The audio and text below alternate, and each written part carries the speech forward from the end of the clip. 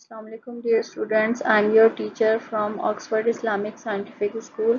Welcome in computer class. Today is our lecture number 8. Chapter number 1 Introduction to Computer Science.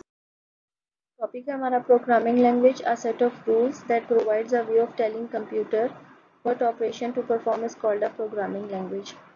कोई भी language जब बनती है तो उसके कुछ सेट ऑफ़ रूल्स होते हैं जो कि डिफ़ाइन किए जाते हैं, फिर उससे जो है वो एक पूरी लैंग्वेज बनती है। इसी तरह से कंप्यूटर प्रोग्रामिंग लैंग्वेज जो है, वो कुछ सेट ऑफ़ रूल्स हैं, जिन, जिनको जिनकी बेस पे एक पूरा प्रोग्राम बनाया जाता है, उसको रन किया जाता है तो वो आपको आउटपुट देता है। यानी कि एक सेट ऑफ़ रूल्स जो कि बताते हैं कंप्यूटर को कि क्या एक्शन परफॉर्म करना है is called programming language or the means and techniques to write computer instruction to take useful out, uh, workout of computer hardware and known as programming language ये कुछ ऐसी टेक्निक्स जिनको right करके computer को instruction दी जाए कि उसके hardware से आपने क्या कब और कैसे काम लेना है प्रोग्रामिंग लैंग्वेज कहलाता है there are two types of programming language low level language and high level language low level language low level languages are computer understandable language These are difficult to understand. They are fast in execution because computers directly understand it. Example है assembly and machine language. Low level languages जो है वो computer understandable language हैं यानी कि ये zero और one की लैंग्वेजेस होती हैं near to machine language these are difficult to understand इनको ह्यूमन के लिए समझना यूज़र के लिए समझना मुश्किल है फास्ट होती है एग्जीक्यूशन में, क्योंकि ये कंप्यूटर क्योंकि ये ज़ीरो और वन की लैंग्वेज होती हैं, इसलिए कंप्यूटर्स को डायरेक्टली अंडरस्टैंड करता है। एग्ज़ाम्पल है इसकी असेंबली और machine language high level language high level language is close to human language these are easy to understand. High level languages needs a translator to translate program. High level languages इंसान English language की तरह होती हैं। Means वो English उसके जो words होते हैं वो इंग्लिश लैंग्वेज के वर्ड्स होते हैं।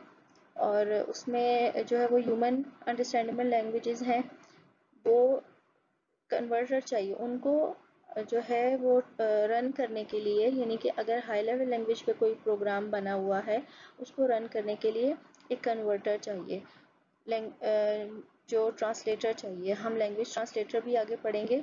इसकी एग्जांपल है COBOL common business oriented language BASIC beginners all purpose symbolic language G W BASIC और इसके बाद अब C C plus plus C C sharp Python इस तरह की काफ़ी सारी लैंग्वेजेस जो हैं हाई लेवल लैंग्वेज आ चुकी हैं। अब हम पढ़ते हैं सोर्स कोड और ऑब्जेक्ट कोड किसे कहते हैं। A program written in any computer high level language is called source code it need to be translated before execution source code जब किसी भी हाई लेवल लैंग्वेज में प्रोग्राम बना लिया जाता है, उस कोडिंग को सोर्स कोड कहा जाता है। उसको जब आपने कंप्यूटर पर रन करना है तो उसको रन करने के लिए, उसको एग्जीक्यूट करने के लिए एक ट्रांसलेटर चाहिए पहले। Object code a source code which is converted into machine language is called an object code. It is always in machine language. वो सोर्स कोड जब रन हो जाता है मशीन में जो मशीन फॉर्म में आ जाता है, उसको हम ऑब्जेक्ट कोड कहते हैं। यानी कि जब वो मशीन कन्वर्ट हो जाता है मशीन अंडरस्टैंडेबल फॉर्म में आ जाएगा तो उसे हम ऑब्जेक्ट कोड कहेंगे। Language translator language translator are the software which translate programming language because computer can only understand machine language language translator जो होते हैं, वो हाई लेवल लैंग्वेज को लो लेवल लैंग्वेज में ट्रांसलेट करते हैं। वो ऐसे सॉफ्टवेयर होते हैं जो प्रोग्रामिंग लैंग्वेज को मशीन लैंग्वेज में ट्रांसलेट करते हैं। There are three types of language translator interpreter compiler assembler interpreter is a language translator that translate and execute each program statement at a time यानी कि अगर एक पूरा प्रोग्राम लिखा हुआ है इंटरप्रेटर पहली लाइन को ट्रांसलेट करेगा। अगर उसमें एरर आएगा तो वो प्रोग्रामिंग को रोक देगा। आपको वो एरर रिजॉल्व करना है। उसके बाद वो दोबारा उसको आप रन करेंगे तो वो फिर फिर से प्रोग्राम को पढ़ना शुरू कर देगा। अगर लाइन नंबर फाइव में एरर आया है तो वो वहीं पे प्रोग्राम रोक देगा और एरर शो कर देगा। इसी तरह से आप उसके एरर्स रिजॉल्व करते जाएँगे तो प्रोग्राम जो है वो रन हो जाएगा और आपको आउटपुट मिल जाएगा। इसके बाद एक compiler it translate the whole program at a time and store the translated program on disk compiler इसके उल्टा काम कर है। कंपाइलर होल प्रोग्राम को पहले रीड करेगा उसको, जो भी उसमें एरर्स आए होंगे, वो सब एरर्स आपको एक साथ दिखा देगा। आप उन सारे एरर्स को रिजॉल्व कर लेंगे और प्रोग्राम जो है वो रन हो जाएगा और डिस्क में स्टोर भी हो जाएगा।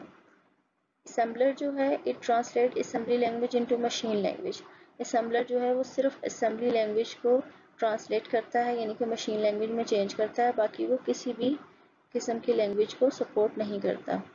इंटरप्रेटर और कंपाइलर को अगर हम कंपेयर करें तो कंपाइलर जो है वो फास्ट है इंटरप्रेटर स्लो है। लेकिन इंटरप्रेटर जो है रिलायबल ज़्यादा है। कंपाइलर जो है वो इतना रिलायबल नहीं है। लेकिन आजकल जो भी आगे लैंग्वेजेस हाई लेवल लैंग्वेजेस बन रही हैं वो सब कंपाइलर को यूज़ कर रही हैं। आपका होम टास्क है learn and write question number 27, 28, 29 and 33 उम्मीद है आपको लेक्चर जो है वो समझ में आ गया होगा। यहाँ पे हमारा चैप्टर नंबर वन ख़त्म हुआ। बेस्ट ऑफ़ लक अल्लाह हाफिज़।